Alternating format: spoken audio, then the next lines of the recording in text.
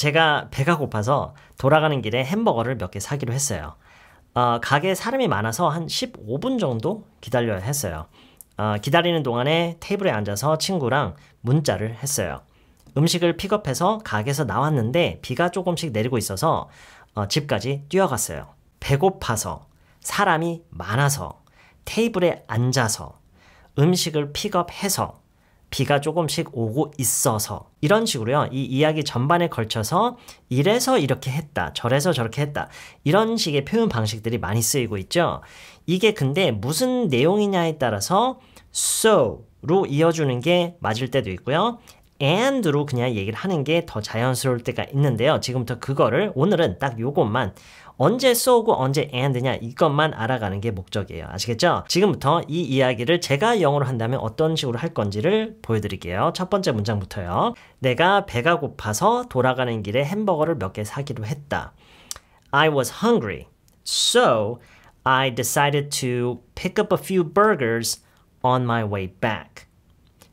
I was hungry, I decided to pick up a few burgers on my way back.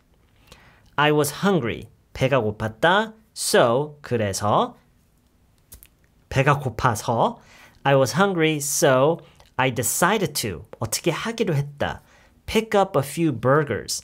어, 이동하는 어, 도중에 어디에 들러서 뭔가를 사가는 거. 그거를 buy보다는 pick up이라고 하는 게 좀 더 자연스러워요. I decided to 하기로 했다. Pick up a few burgers. 햄버거를 몇 개 사기로 했다. On my way back. 돌아가는 길에. I was hungry, so I decided to pick up a few burgers on my way back. 배고파서 어떻게 했다. 이런 상황이었어서 그것에 대한 반응으로 아, 그거를 해결하기 위한 아, 방법이기도 하죠. 그거에 대한 반응으로 어떻게 어떻게 했다. 이럴 때는 so가 맞아요. I was hungry, so I decided to pick up a few burgers on my way back. 아, 이어서요. 가게에 사람이 많아서 15분 정도 기다려야 했다.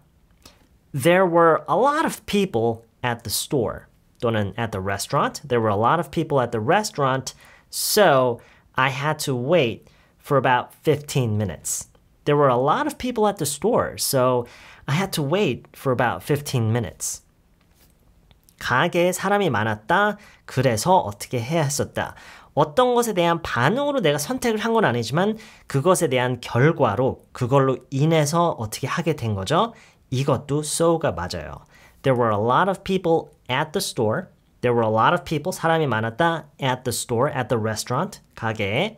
So 그래서 I had to wait 기다려야 했어요 for about 15 minutes. 아, 대략 15분 정도 동안 아, 기다려야 했어요. There were a lot of people at the store, so I had to wait for about 15 minutes. There were a lot of people at the store, so I had to wait for about 15 minutes. 기다리는 동안에 테이블에 앉아서 친구랑 문자를 했어요. 기다리는 동안에 while I waited 테이블에 앉아서 친구랑 문자를 했다. I sat at a table and texted with a friend. I sat at a table and texted with a friend. 아, 테이블에 앉아서 어떻게 했다. 자, 여기서의 해서라는 표현은 여러분도 지금 어, 한국어를 보면서 느낄 수 있다시피 어떤 원인 결과 내지는 어떤 것에 대한 반응으로 어떻게 했다라는 맥락이 아니죠. 그냥 일이 일어난 순서대로 그냥 나열을 하는 것 뿐이에요. 이럴 때는 so라고 하면 안 되고 and로 이어주는 거예요. I sat at a table and I texted with a friend. While I waited, 기다리는 동안에 I sat at a table and texted with a friend. 아, 테이블에 앉아서 아, 친구랑 문자를 했어요. I sat at a table and texted with a friend. 아, 텍스트를 이렇게 동사를 씀으로써 아, 문자를 주고받는 거를 얘기를 할 수가 있어요. I sat at a table and texted with a friend. 음식을 픽업해서 가게에서 나왔는데 아, 비가 조금씩 오고 있어서 어떻게 어떻게 했다.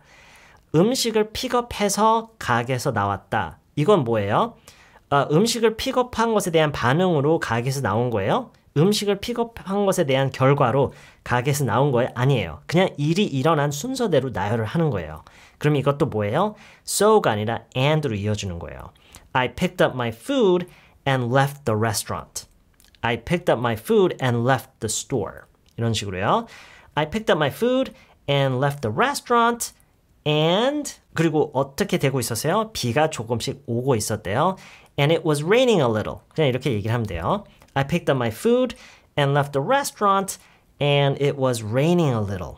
It was raining a little. 음식을 픽업해서 가게에서 나왔는데 비가 조금씩 내리고 있어서 집까지 뛰어갔어요. 비가 내리고 있어서 집까지 뛰어갔어요. 이거는 어떤 상황에 대한 내 반응으로 내가 어떻게 한 거죠. 그쵸?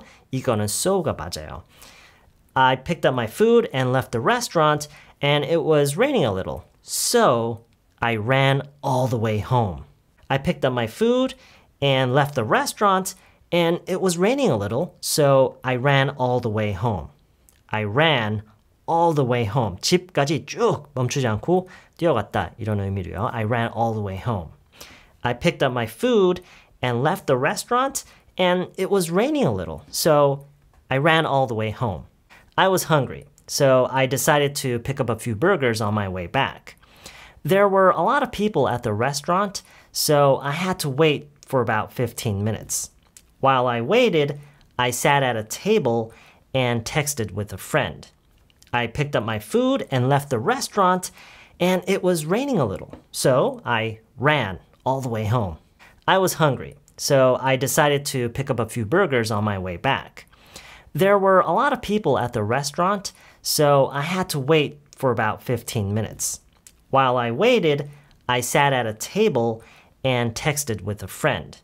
I picked up my food and left the restaurant, and it was raining a little, so I ran all the way home.